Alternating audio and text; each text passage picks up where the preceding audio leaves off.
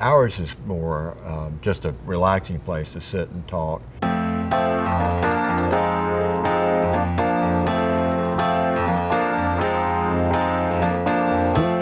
Good locations in retail are just absolute. And if you ain't got one, I don't care what you do, uh, you're going to struggle uh, for the rest of your life. We wanted it to, to look old-fashioned, baronially celebratory of literature. You want it to look like somebody's mansion in, in, in his library. It's so the celebration of books. Red is an exciting color. Gold highlights are the two colors used in theater performances since the beginning with the Greeks and the Romans. So you want to give it that vibe of excitement, yet that really comfort, luxury of come, come in and sit.